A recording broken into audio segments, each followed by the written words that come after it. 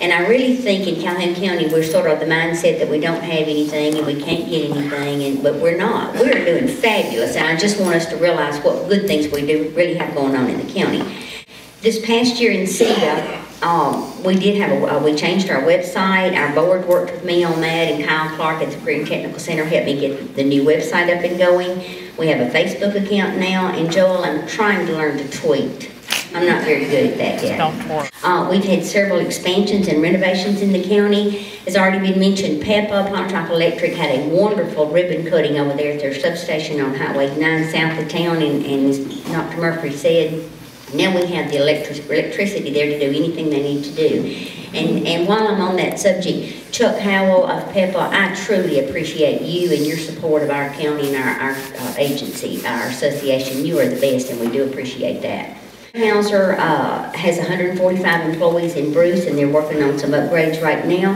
Hayworth Chairs in Bruce has about 450 employees, and they have a proposed expansion on their existing site, and we're also looking at maybe doing a turn lane on Highway 8, uh, excuse me, Highway 9. Mayor Pope and I are meeting next week with MDOT and MDA to see if there's any money available anywhere to put a turn lane, uh, JR, like you got in Calhoun City, we want one in Bruce. Bruce also is the, is the proud home of the, something called Bruce Sweet Potato. And Marshall Bailey has done that. I was out there the other day, Lisa and Joanne, it's a fantastic operation, and they were hustling out there. The Cannon Motor Company is actually having a ribbon cutting ceremony Thursday. Their new building right out here is gorgeous, and of course, they renovated their shop.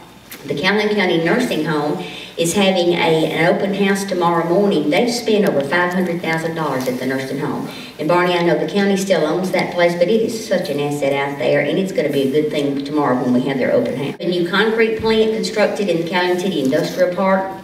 Mississippi Materials Center is in operation out there now. Of course, MedLift and Kids World are our old standards. Our Career Technical Center, I just can't say enough about those guys out there. Wholesome Nutrition came to town, and uh, Kevin Stafford is our plant manager over there, and I'm just thrilled. James Marshall, you realize that's helped our town over there too. So they're uh, actually drying sweet potatoes. I did a, maybe you already have already heard, you know, these these site selection folks, you know, they come to town and you're supposed to shine your shoes and brush your teeth and whatever else. But anyway, these guys came to the county and I toured them all around. And I was so proud. I thought I was doing everything right, Mike. And I thought I'll take them to a nice place and we'll do lunch. And so we got about noontime and we were talking about lunch. And I said, wow, what do you guys like to eat? And they said, we like cokes and nabs. So I can handle that. We went to the shortstop and got cokes and nabs, but we landed the site, Mike. So you've been wasting a lot of money, see, with helicopters and stuff.